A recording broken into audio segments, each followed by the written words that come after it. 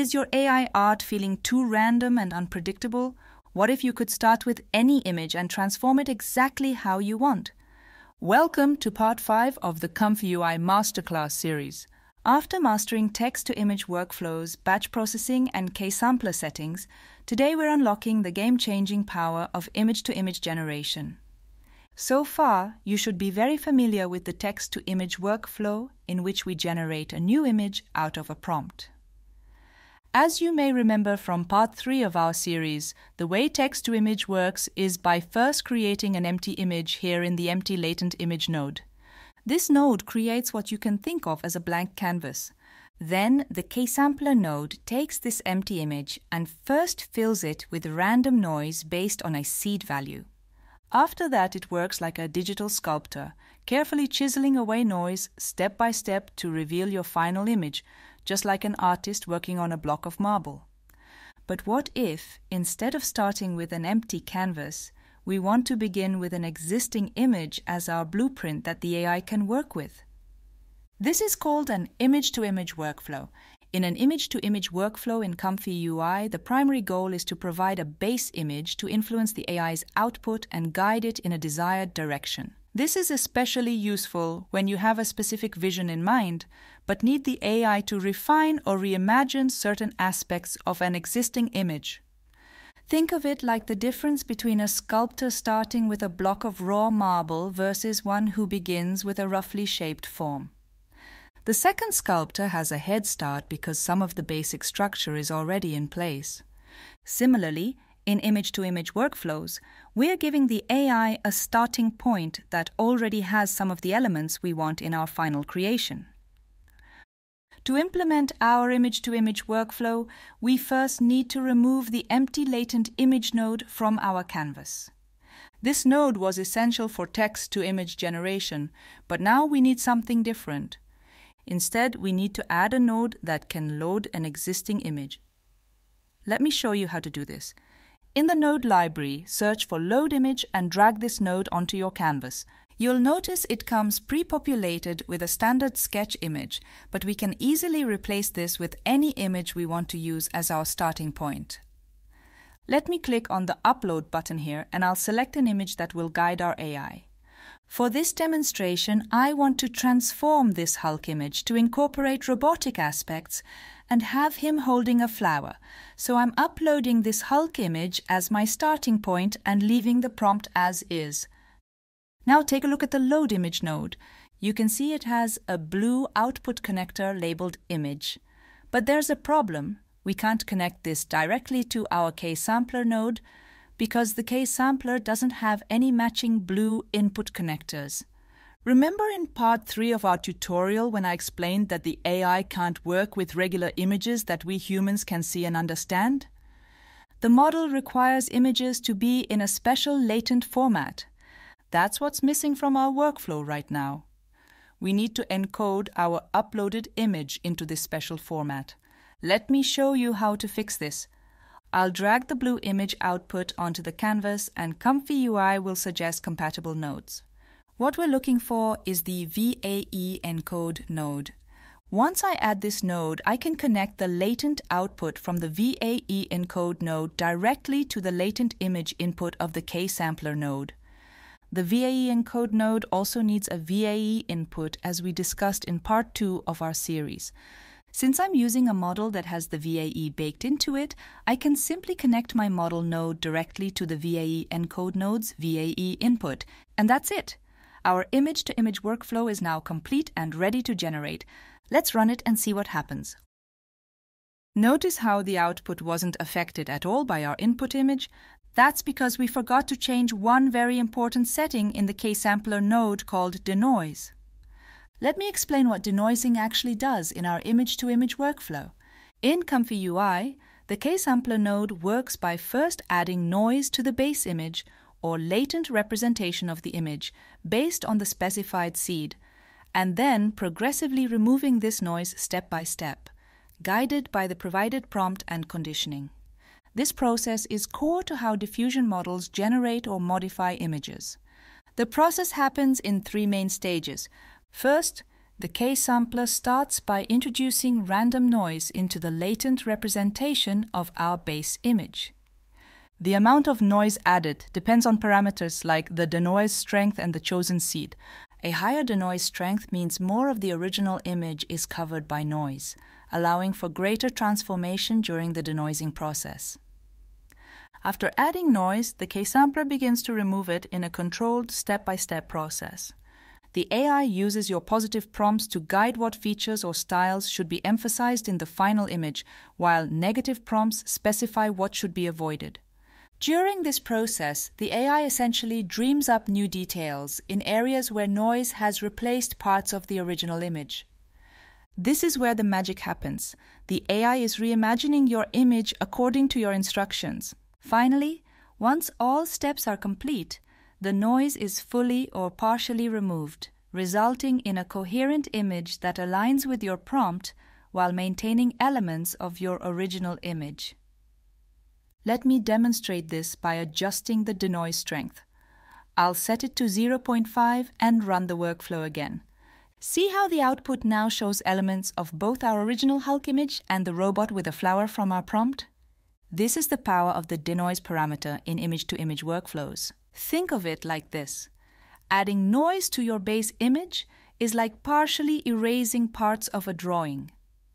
This gives the AI room to redraw or reinterpret those areas according to your prompt. Without this noise, the model wouldn't have the creative space to make meaningful changes to your image. You might be wondering where has the image size setting disappeared to in our image-to-image -image workflow? If you remember from our text-to-image workflow, the empty latent image node gave us the option to define the exact dimensions of our output image. But looking at our current workflow, you'll notice this option isn't available in the load image node.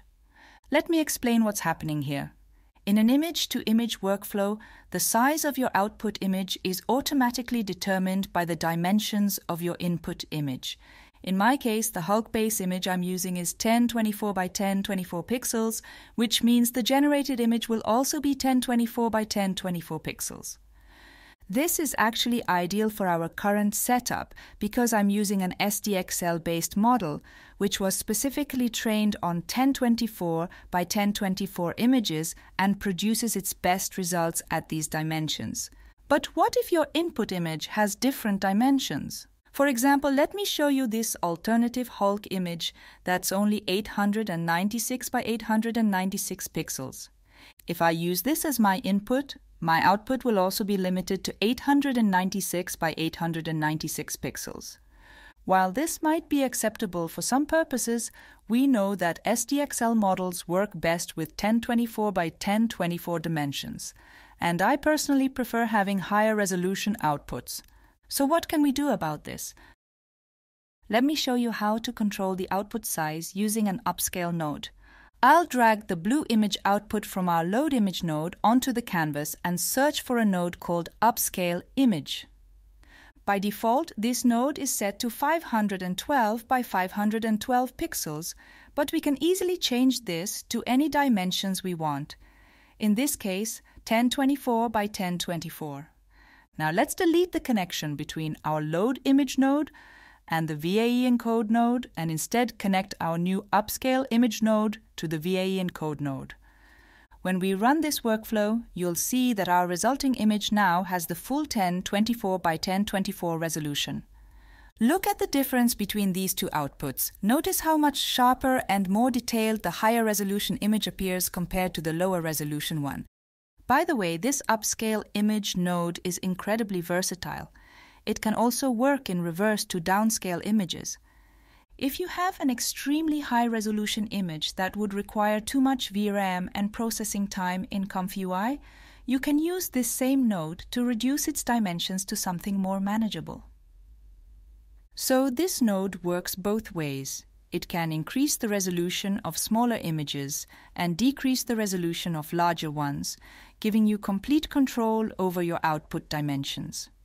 Now that we've seen how to adjust image size, let me explain the different upscale methods available in the Upscale Image node.